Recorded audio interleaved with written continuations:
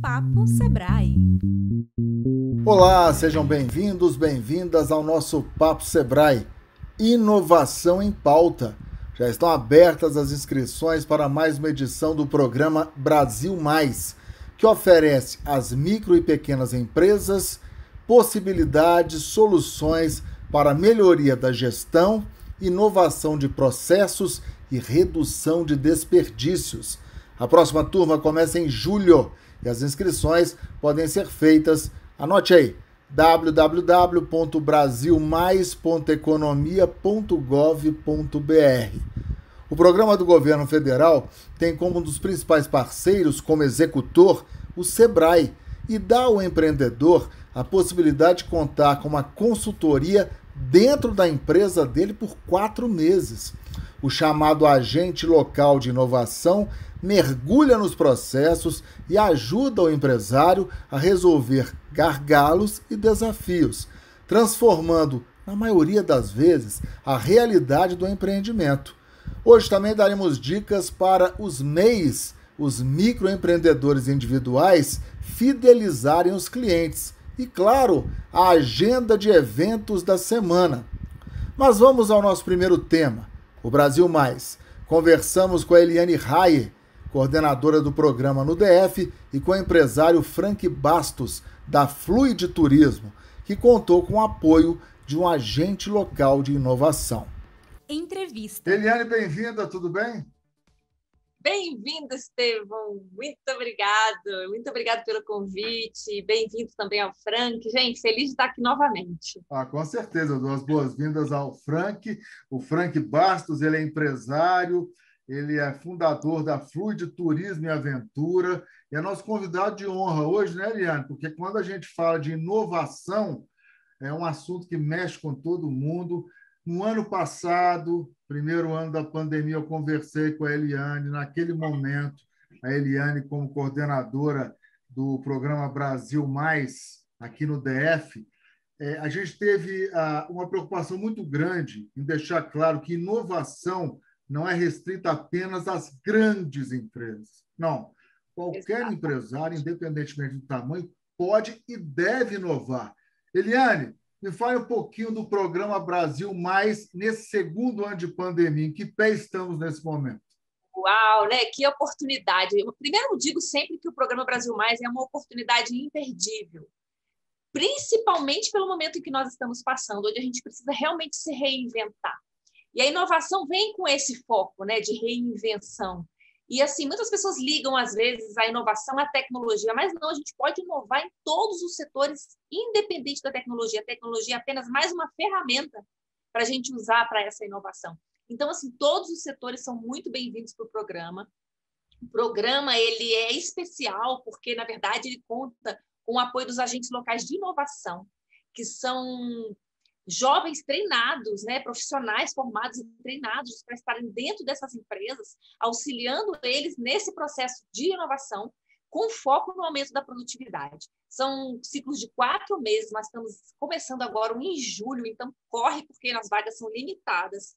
Se inscreve no nosso no site que a gente vai passar aqui no nosso link no, no Brasil Mais, mas é, é, é, só procurar o Brasil Mais é, do governo federal, que é uma parceria do Sebrae, Senai, CNPq, Ministério da Economia e a ABDI, quer dizer, só gente grande, um capital intelectual assim enorme para trazer uma solução super legal para você que é pequeno empresário.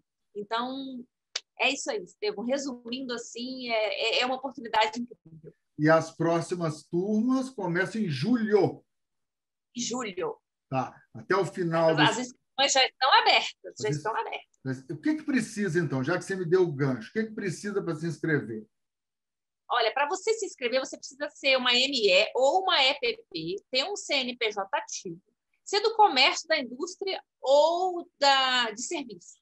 Então, assim, na verdade, o único impeditivo é realmente o seu porte eh, né, de empresa. Então, ME ou EPP, entra no site. Eu vou buscar aqui enquanto o Estevão está conversando com o Frank para passar o link direitinho. Mas você entra lá, se inscreve e acabou. Um agente local de inovação vai entrar em contato com você, vai agendar uma primeira reunião e a partir daí são quatro meses de transformação na sua empresa. Que legal. Foi o que fez o Frank Bastos, né? da Fluide Turismo. É uma agência de turismo, esporte e aventura. Eu já dei uma navegada no site, muito legal o site deles. E me chamou a atenção, até comentei com a Eliane, né? tem um, um pedacinho do site lá que destaca fábrica de gente feliz. Felicidade é um ativo, né, Frank? Ah, sem dúvida, pessoal. Eu fico muito feliz de trazer para dentro do nosso negócio grandes amigos. Eu costumo dizer para todas as pessoas que chegam até nós que nós não temos clientes, nós temos realmente aquilo que o site fala, fábrica de gente feliz, e conjugado com isso é a questão da amizade, né? Então, nós proporcionamos ali para as pessoas experiências diferentes do que o mercado tem proposto.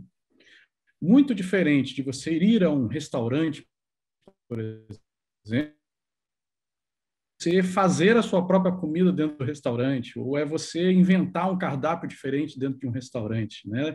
Tá fazendo uma analogia simples a outros negócios, é, nós criamos um jeito diferente de você sair de casa com toda a proteção, com todo o cuidado que tem que ter, e graças ao programa do Sebrae, a gente conseguiu resolver assim técnicas e, a, e indicadores que nós precisávamos há muitos anos e que diante dessa nova característica que nós implementamos no mercado, nós não tínhamos solução. Então, ah, então, foi então, interessantíssimo. Você me deu um bom trabalho. gancho. Você me deu um bom gancho. É, o DNA da inovação já estava presente desde a fundação da empresa? E a outra pergunta, por que, que vocês procuraram o programa Brasil Mais? O que estava faltando para azeitar esse processo dentro da Fluid? Olha, para a gente se manter em mercado num momento tão crítico como foi desde março do ano passado, né, no início da pandemia, em que nós é, praticamente fechamos as portas né, em muitos meses, é claro que as ideias já vinham sendo estruturadas há muito tempo. Porém, o programa resolveu questões para nós que, a princípio, nós não tínhamos solução, né? como, por exemplo, a forma de captação de clientes, a estruturação dos nossos é, KPIs de, de indicadores de vendas, é, perceber onde que nós estávamos errando e onde que nós estávamos acertando em relação à abordagem, principalmente nas redes sociais. Hoje, 99% das nossas captações de amigos vem das redes sociais, graças a uma série de facilitadores que os consultores do Sebrae, né, é, os agentes de inovação do Sebrae trouxeram para dentro da Fluid. E isso, nossa, nós seremos eternamente gratos ao Sebrae por isso, sem dúvida nenhuma. Ô, Eliane, olha que depoimento bacana. É, o empresário, o microempreendedor, ou pequeno empreendedor, que se candidatar a receber um agente local de inovação do Brasil Mais, tem que estar disposto, igual o Frank, a encarar a realidade. Ele não vai para dentro da empresa para mascarar a realidade, apontar coisas legais e coisas que não estão tão legais assim. Né? Então, o empresário tem que ter essa abertura né? para olhar o negócio dele com uma visão crítica, né, Eliane? Eu falo muito para os meus agentes que eles são tipo aquele pneumologista que o fumante vai lá se consultar quando está com problema no pulmão. Hum. Aí o, o, o, pneumologista fala: você tem que parar de fumar. Ele fala: ah, mas por que eu tenho que parar de fumar? Como assim, né? Então eu, eu, eu falo para meus agentes demais: vocês são pneumologistas tratando de fumantes. Nós temos realmente que mostrar para eles a real causa do insucesso e aonde está, né? Claro, porque só você apontar o que está errado não é solução. Mas aonde está a solução para esse problema, né? Porque ela existe, né? E eu sempre digo, um primeiro passo para a mudança realmente do negócio que vai mal para o negócio que vai bem é justamente pedir ajuda, né? E o Brasil Mais vem para estender essa mão e realmente ajudar esse empresário que nesse momento precisa de se reinventar mesmo, sabe? De inovar e sair do outro lado muito maior, né? Que eu digo, quando acabar a pandemia, gente, quem está grande vai ficar maior ainda, entendeu? Então é um, a hora é agora.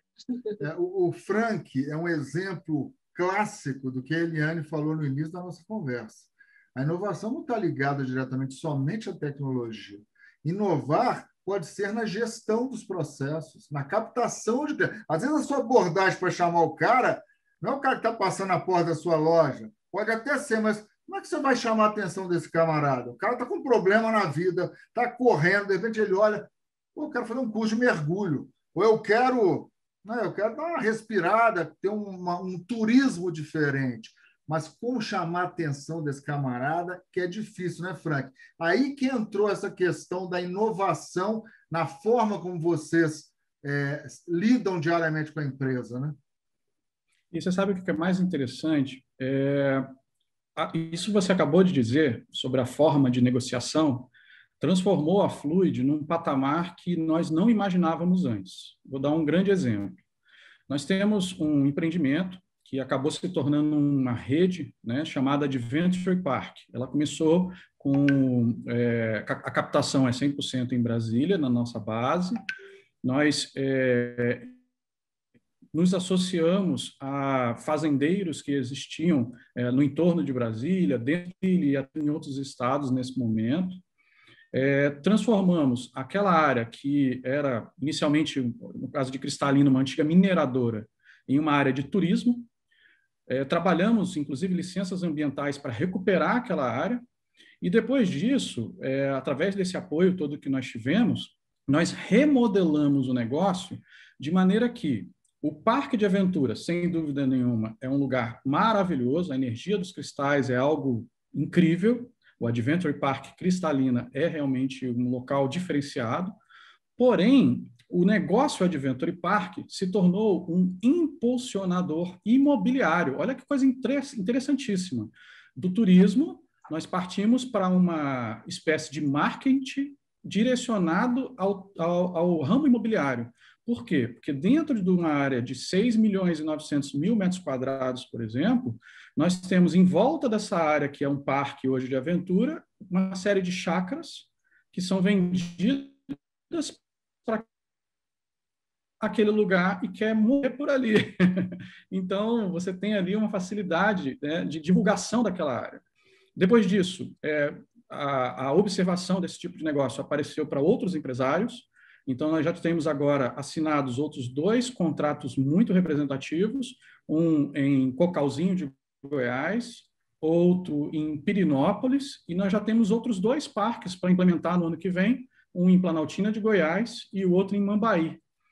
Então, isso tudo são projetos milionários que antes nós não imaginávamos trazer tão rápido para dentro da estrutura da, da, da Fluid, onde é, em torno do parque, você tem é, o seu, a sua chácara.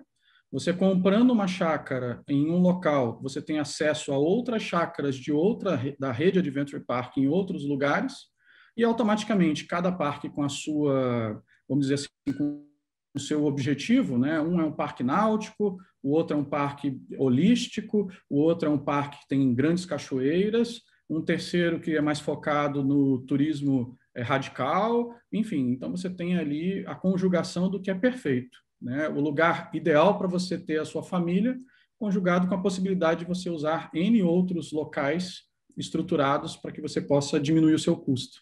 Então, ah, olha que, que remodelação completa ah, houve é. dentro do negócio. É, a Eliane é só sorriso, né? Porque a satisfação. Não, eu tô assim orgulhosa, gente. Eu tô assim.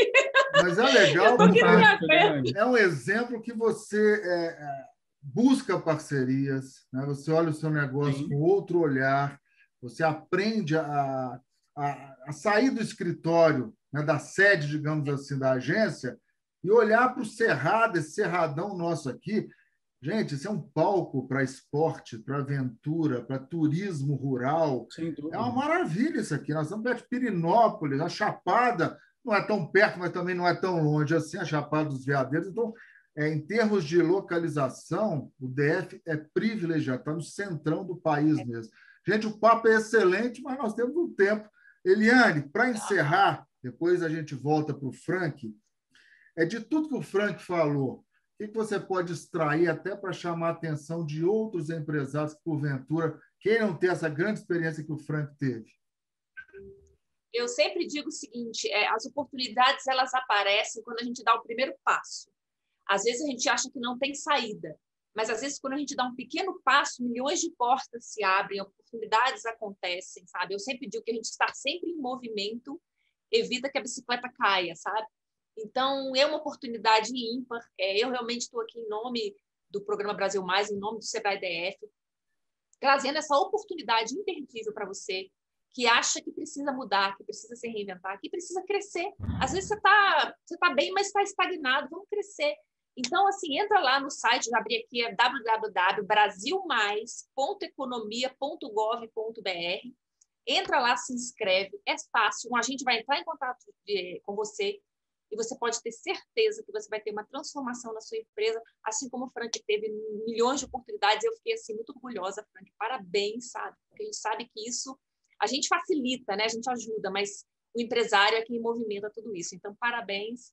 Obrigado pela oportunidade, viu, Estevam? Mais uma vez estar aqui falando não, desse programa acho... maravilhoso. Gente, não perde oportunidade. Não, eu acho que inovação é um tema recorrente importantíssimo, estratégico. E o depoimento do Frank Barças foi fundamental.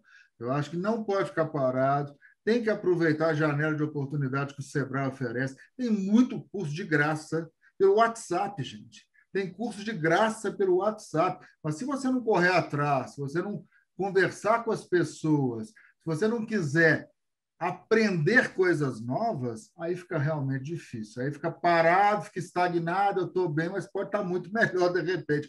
Ô, Frank, para a mensagem final, eu acho que você já deu um depoimento fantástico, mas para fechar com chave de ouro, a cereja do bolo, qual a bússola, qual o norte que você dá aí para outros empresários que querem remodelar o seu negócio?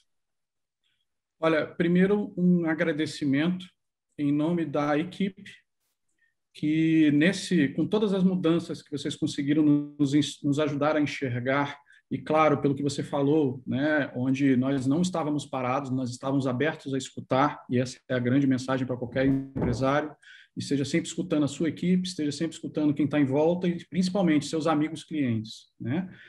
Mas o seguinte, é, durante a, toda essa crise da pandemia, onde nós ficamos meses e meses fechados, tentando nos reinventar, nós não demitimos nenhuma pessoa, nós triplicamos a nossa equipe da Fluid e temos uma expectativa de contratar pelo menos mais 100 pessoas nos próximos meses para esses novos empreendimentos. E tudo isso, a equipe da Fluid agradece muito a vocês. Estou é, um pouco emocionado e realmente gostaria de dizer que vocês foram fantásticos. Que legal. Muito obrigado. Você quer ou não ser uma fábrica de gente feliz? Os caminhos estão Sem dúvida. abertos. Né? É, também me emocionei aqui, foi muito é legal. Esse mérito é seu. Esse é. mérito é seu, cara. Eliane, Frank, obrigado. obrigado. Até semana que vem. Abração. Tchau, tchau. Estevam. Tchau, Frank. Até a próxima. Então anote aí, inscrições pelo www.brasilmais.economia.gov.br. Você que é MEI, quer fidelizar o seu cliente? Preste atenção nas dicas com a Cris Nione. Dicas Sebrae. Cris, bem-vinda. Olá, Estevão.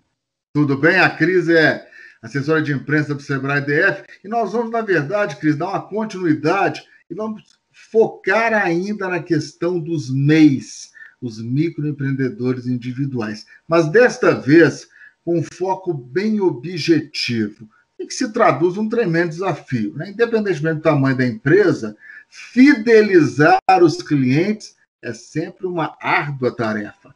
Vamos então, Cris, cinco dicas básicas para você conquistar e manter o clientela, né? fidelizá-la. Dica número um: pense com a cabeça do cliente. É muito difícil isso, Cris? Então, Estevão, é, sabe quando você vai cortar o cabelo, comer um cachorro quente ou comprar uma camiseta? Como é que você gostaria de ser tratado nessa hora? Ah, Quanto tempo você esperaria para ser atendido? Quanto você pagaria por esses produtos e serviços? Essa é a nossa dica. Reflita, anota essas informações, olhe para a sua empresa e veja se você está atendendo o seu cliente da mesma forma como você gostaria de ser atendido. É, essa é a chave, é ter empatia, né? é se colocar na condição de cliente. Isso é excelente, uma excelente dica para a gente iniciar.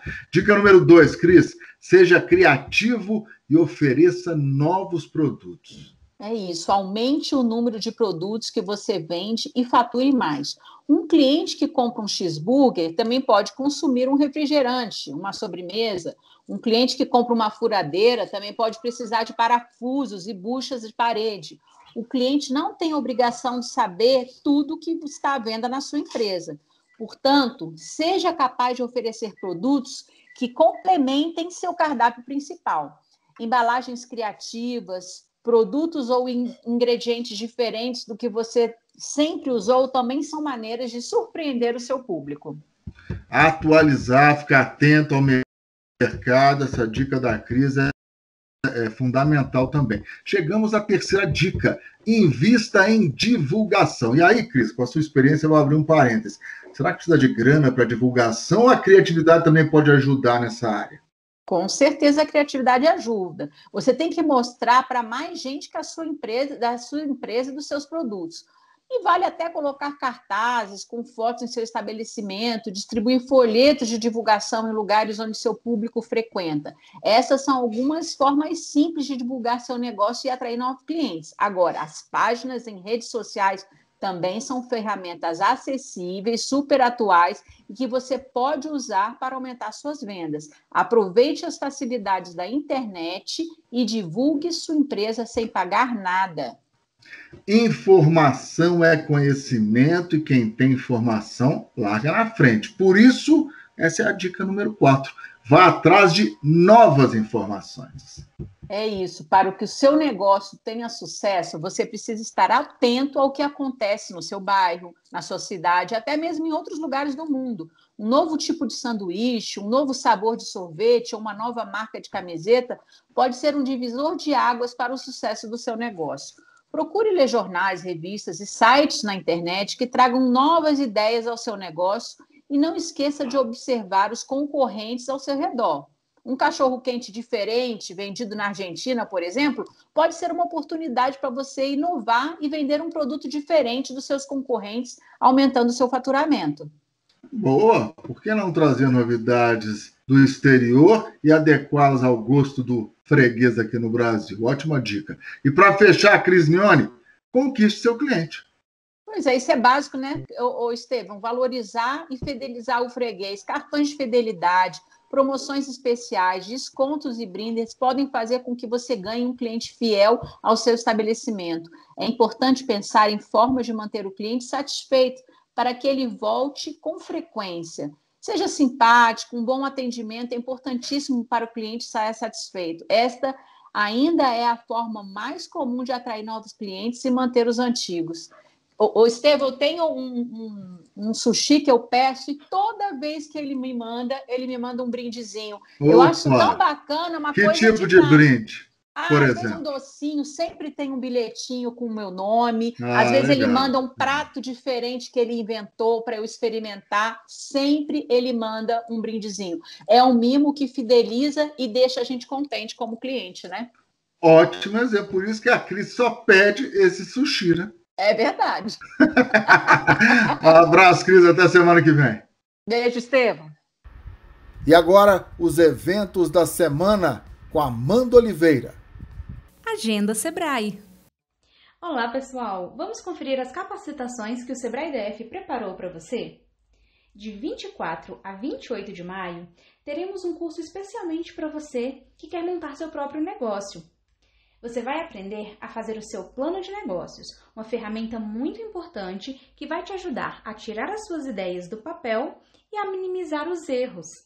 Aproveite essa oportunidade. Acesse lojasebraedf.com.br e faça sua inscrição. E atenção, você que é microempreendedor individual. No dia 24 de maio, às 19 horas, teremos uma capacitação com muitas dicas para você aprender a estruturar o seu negócio para delivery. Aproveite, acesse agora a loja Sebrae e garanta sua vaga. E para você que é da área da gastronomia, teremos uma capacitação no dia 25 de maio, das 15 às 19 horas, sobre como inovar nas vendas online e serviços de entrega. Aproveite, pois é muito importante alinhar as estratégias nesses momentos de crise. Acesse lojasebraedf.com.br e participe! E para você que é microempreendedor individual, teremos uma capacitação no dia 25, a partir das 19 horas, para que você possa descobrir se sua empresa realmente está precisando de crédito. Acesse agora a loja Sebrae e fique por dentro.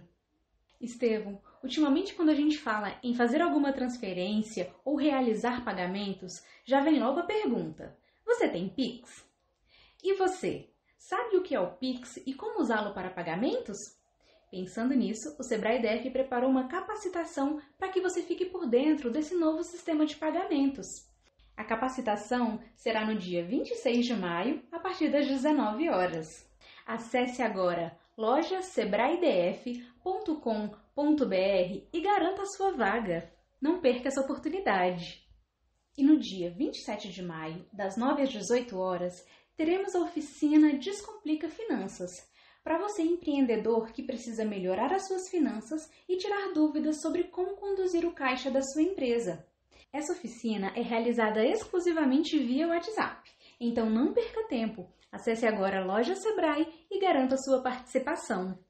Já no dia 28 de maio, teremos uma capacitação para você que é microempreendedor individual e quer vender mais e melhor pelas redes sociais. Aproveite essa oportunidade. Acesse agora lojasebraedf.com.br e participe. Ah, e por falar em MEI, não se esqueça que o prazo para entrega da declaração está chegando ao final. Você tem somente até o dia 31 de maio para entregar a sua. E caso esteja tendo alguma dificuldade, procure o Sebrae, pois fazemos junto com você. Ligue para 0800 570 0800 ou mande uma mensagem no WhatsApp 3362 1701. Por hoje é isso. E não se esqueça, estamos sempre à sua disposição. Até a próxima! Valeu, Amanda! Nosso Papo Sebrae fica por aqui. Até semana que vem, pessoal. Tchau, tchau.